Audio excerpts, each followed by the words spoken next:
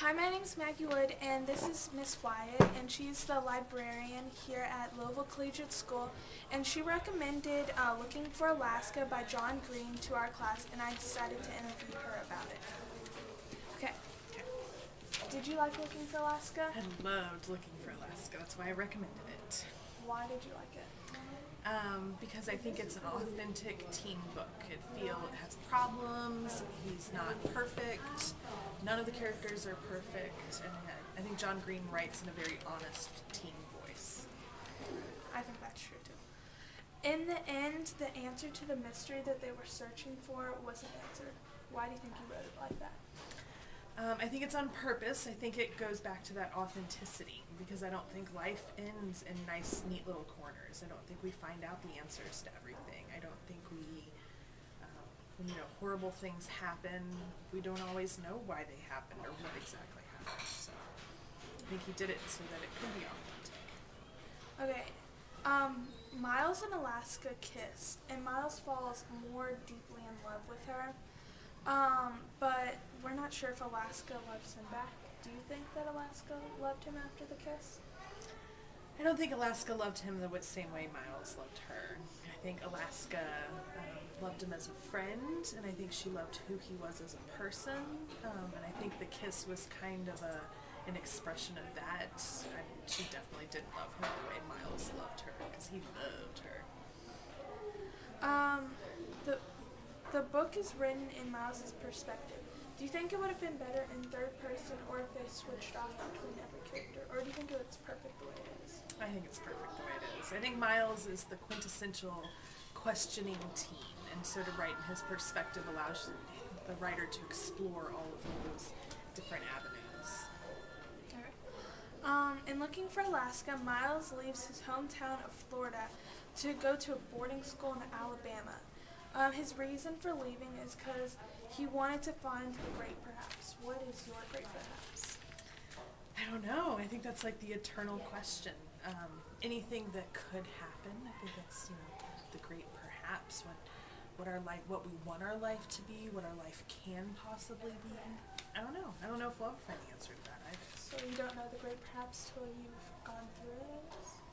I think it's it's completely like you're always searching for it, and I think that's why it's the great perhaps. It's what could happen, not what is happening, but what you know, what is possible for you out there. Who is your favorite character in the book?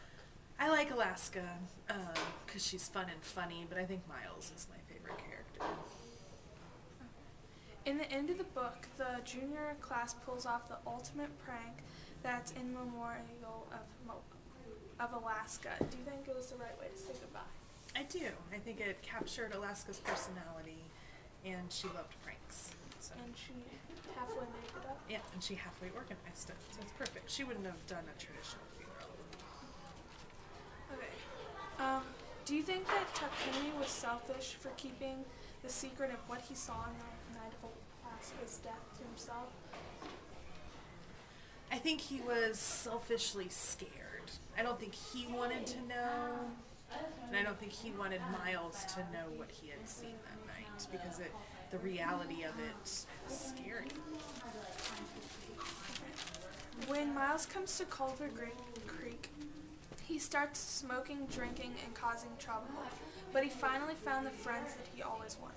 In your opinion, do you think that Culver Creek was the right choice for Miles, or should he have stayed in Florida? I think Culver Creek was the right choice. Um, I wish he wouldn't have had to go through all those avenues to find all of his friends and all of the you know different things that um, figuring out who he is. Um, but that's the journey he took, and if that's the journey he took to find who he was, then we all take a different journey. Okay. Um, do you think Alaska was as um, confident of herself, or was it just a mess? I think it's a little bit of both. I think she had moments of confidence, um, but I think for the most part she faked it. I think she um, people expected something of her, and I think she was one of those high-low people too, like the super, super, super energetic, but then you have like really, really low lows, and so I think she had to fake it a lot of the time. Do you think that Alaska's death was a drunk driving accident or suicide? I interpreted it as a suicide.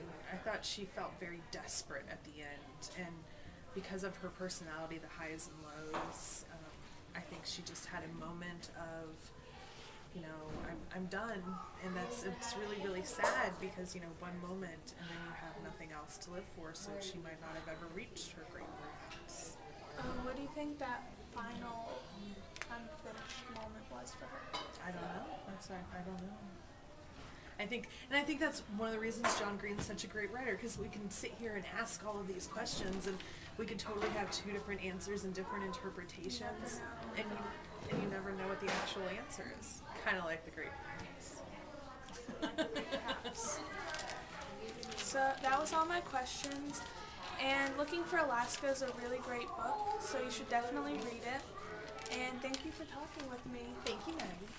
And yeah.